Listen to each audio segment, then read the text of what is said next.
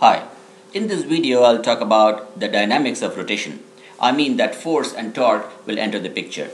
In the previous video I had spoken about kinematics which was purely to do with equations of motion, linear velocity, angular velocity, angular acceleration and so on. In this image I have retained some of those things.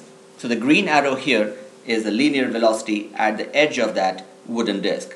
The curved blue arrow is indicative of the angular velocity of rotation of that disk.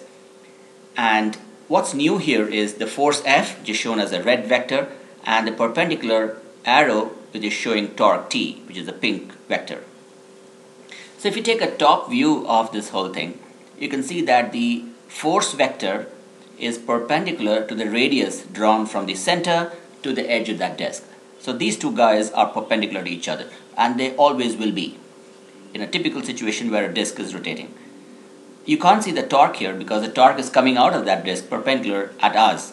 So the torque is perpendicular to both of these guys.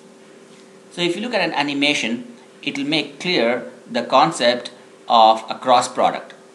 So force is one, the radius is the next. So the product of force vector with the radius becomes the third guy who is that pink arrow which is perpendicular to both the force and to the radius. That's how the torque vector becomes the cross product of force into radius. Another thing to note here is that for a given constant torque, the force applied at the periphery of that disk will be smaller because the radius is big. If the radius becomes small and if we try to rotate the disk by moving it from the center, much larger force will be needed to rotate it.